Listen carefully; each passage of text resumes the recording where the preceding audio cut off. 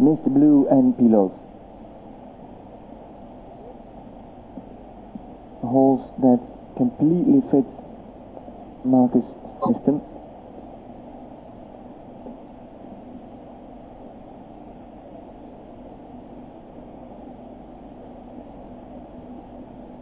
He's well balanced on his own. In a good basic tempo, good canter. He can produce the same rhythm, the same tempo throughout the entire course. One of the key features of Ehning's system.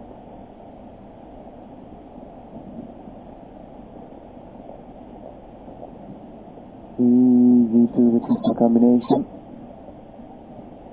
And did you see at the takeoff just before the vertical how Plot Blue looked at the top rail and jumped away from the top bar on the vertical?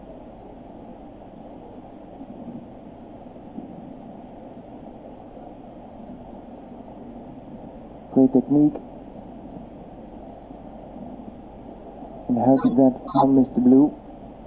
Clear. And indeed, a walk in the park, literally, for Marcus Ehning. And the Plot Blue clear in 71.39 and he places second, second fastest time, second fastest result. The groom, Kate, very happy with her rider's result, probably even more happy with the horse's result.